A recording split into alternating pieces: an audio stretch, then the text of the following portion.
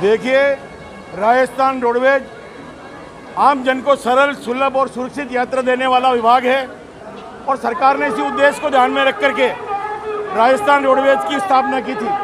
अपने स्थापना से लेकर के लगभग 25 साल से ज़्यादा की सेवाएँ राजस्थान रोडवेज़ ने जिस प्रकार से आम जन के लिए की है, जितनी तरह से उत्कृष्ट सेवाएँ दी हैं, हमारे बीच में और आमजन के बीच में एक अटूट विश्वास का जो रिश्ता बना है आज आप देखेंगे कि सांसद महोदय हों या विधायक महोदय हों या ग्राम पंचायत के अंदर प्रधान हो, सरपंच हों, उनके क्षेत्र में की जनता जो है, वो रोडवेज़ की गाड़ी लगाने की मांग करती रही है। समय समय पर रोडवेज़ उनकी अपेक्षाओं पर खरा उतरा है, लेकिन विगत वर्षों के अंदर रोडवेज़ में गाड़ियों, संसाधनों का अभाव होने से थोड़ी शिथिलता आई है। वर्तमान में राजस्थान सरकार ने बड़ा दिल रखते हुए राजस्थान रोडवेज़ को 500 500 ब्लू लाइन बसें 300 इलेक्ट्रिक बसें, इस बजट में घोषणा की थी। इस प्रकार से राजस्थान रोडवेज़ को संजीवनी राजस्थान सरकार ने दी है और राजस्थान रोडवेज़ के प्रमुख बस अड्डों पर यात्रियों की सुविधाओं को ध्यान में रखते हुए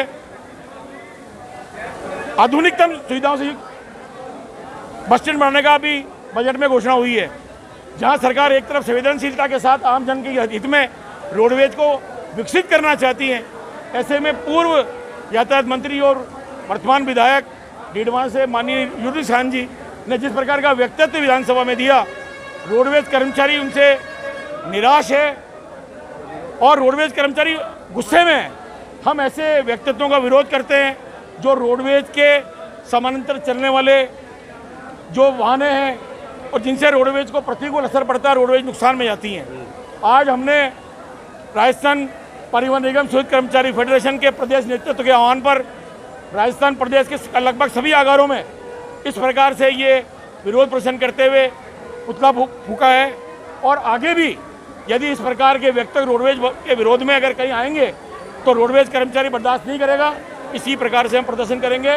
और विरोध करेंगे, हर संभव जतन करेंगे। आज हमने यूनुस खान जी का पुतला जलाया है, जिस प्रकार के व्यक्तित्व दिए थे। मैं आनंद सिंह नयाल, प्रदेश कार्यकारी अध्यक्ष, परिवहन फेडरेशन, भारतीय मजदूर संघ।